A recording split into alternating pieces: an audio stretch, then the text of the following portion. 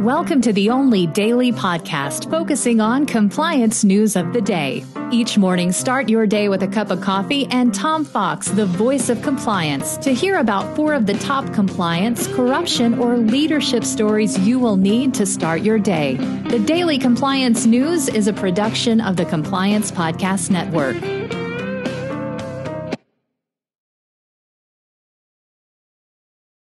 March 6, 2021, the fall of the Alamo edition. While I don't have a story on that, uh, today is the anniversary of the fall of the Alamo, and in Texas, that uh, tragic loss is celebrated as one of the beginnings of Texas independence. Our first story comes from the great state of Texas, and that involves the Texas Power Commission, ERCOT, who overcharged uh, power generators some $16 billion in the recent snowpocalypse. Uh, and now uh, the regulators say they're not going to reverse that charge, even though the independent body that they appointed or they asked to look at the charges flagged at as uh, an overcharge and should be refunded. The commission said it would be too difficult to reprice the energy and too many uncertainties and that uh, it would be impossible to unscramble the egg. There were so many hedge funds and private transactions outside the view of the commission that taking a step to design to help the con- consumers would have unintended consequences. So, on the day of the fall of the Alamo, the Texas Energy Commission says to Texas consumers, screw you. Happy Alamo Day. Uh, next up from the Wall Street Journal in the future of everything column, forget what you think happiness is. Scientists are learning better how to measure and improve ha- happiness as the pandemic forces many to question what brings them joy.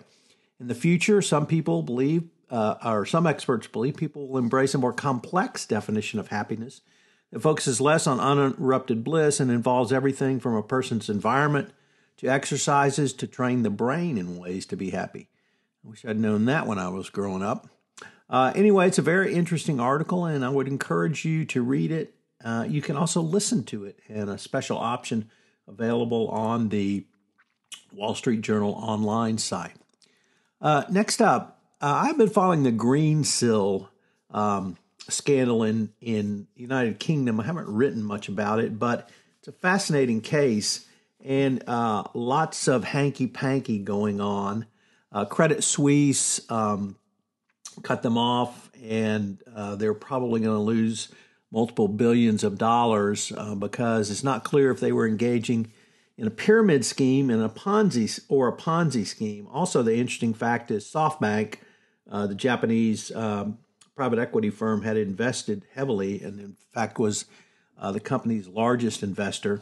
But um, what Greensill did was supply chain financing that uh, i obviously have to take a look at a little bit down the road. But they used uh, investments from Credit Suisse to loan to uh, another investor in the company. Like I said, I'm not sure if that's a pyramid scheme or that's a Ponzi scheme or that's just outright fraud, but you can't take money from one investor and then turn around and loan it to another investor.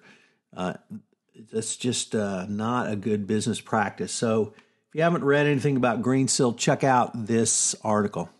And then finally, uh, yesterday on Everything Compliance, we explored the intersection of antitrust with compliance, and today we have a story that the SEC alleges three AT&T employees um, who uh, that they shared information about smartphone sales in 2016 to analysts, who then lowered their revenue forecast, allowing the telecom company to beat earnings and that this insider information release was illegal.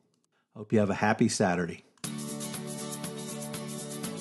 The Daily Compliance News is a production of the Compliance Podcast Network and a proud member of C Suite Radio. Thanks so much for listening. I hope you'll join me again tomorrow.